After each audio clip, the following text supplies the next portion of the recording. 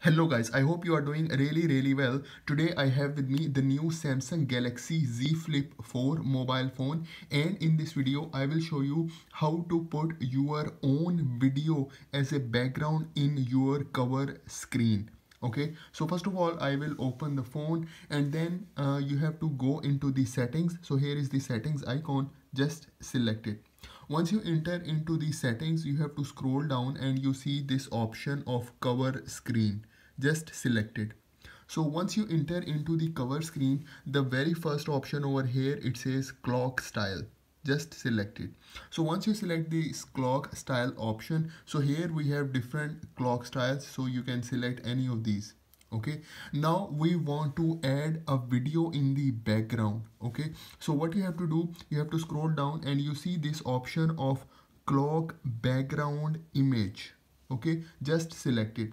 Once you select it here you see two options the first option is choose from my wallpapers and choose from gallery. So i just select this choose from gallery okay? So once you enter into this choose from gallery it will take uh, it to you to your mobile phone gallery where you have all your videos available. So you can record a video and you can save it in the gallery.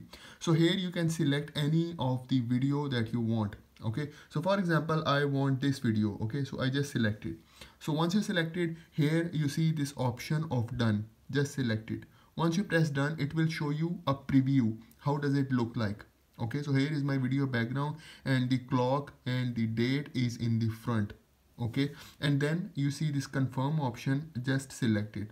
So this is confirm and then the last thing is you have to press this done option. So now everything is done. Now i will uh, close my Galaxy Z Flip 4 and then if I double tap on the screen so here you can see my video is on the background with the clock and date and time in the front. Okay?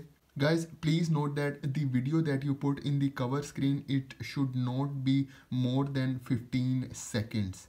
Okay so this is how you can put the video in your background in Samsung Galaxy Z Flip 4.